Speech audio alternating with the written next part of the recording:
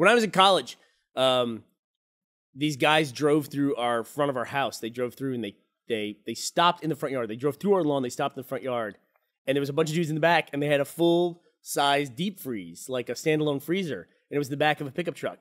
And two dudes go, "Hey, what's up?" And we're like, "What the fuck in our lawn?" and they go, "Here you go." And they kicked the freezer out, and it landed in the front lawn. And then they just drove off. And we're like, "What the fuck, and it's you been dickheads?" passed down from generation to generation. Did it generation. work? No, it was fucking busted. They just wanted to get rid of it. So It's, like, that's, your problem now. that's the way we did it. And one of our guys was walking to the bus the next day and saw the guy's truck.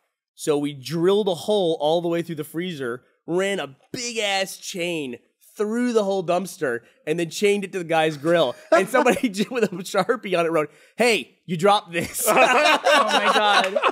And we actually have video of the guy out there the next day, like looking at this thing, like, what You the filmed fuck? him? Yeah. What are we gonna do? Where is that video? Yeah. I don't know. Somebody's got it. I don't have it. I'd like that instead of calling the police and reporting him for dumping, No. you drilled a hole. That must have taken ages for a start. You know, I was in a car today, this morning, and a school bus stopped, and I had to stop for it. And I was like watching the school bus, and I had this feeling that I hadn't had in years of thinking like, "Oh, that's a school bus." Ugh. And I thought, I, don't, I thought, hey, I don't have to go to school. I'm Yeah. an adult. I don't have to go. And I, in my car, I flipped off a school. What? Why? Because I'm an adult. And I just thought, man, fuck you, school bus. I'm not going to school today. Did any, did any kids see you like, whoa, the guy just flipped me off? The windows were all tinted. I didn't think about it. After I did it. Did you do it driving by or when you were just like No, stop no, no, behind You it? have to stop in Texas. It was going this way. And I was you- like, were you in the and I was just Tesla? like, I was, here's exactly how it went. I stopped and I went, I went, uh, oh, haha.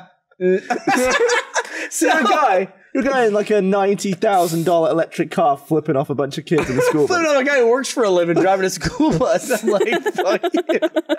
But, but I was just trying to like, it was more like, I don't have to go to school today, so. You're a terrible person. I just didn't think about it. It was just, no, just a reaction, Ugh. as you do. Oh god. You, you, when was the last time you've been out of school a long time, Oh, yeah. right? Yeah.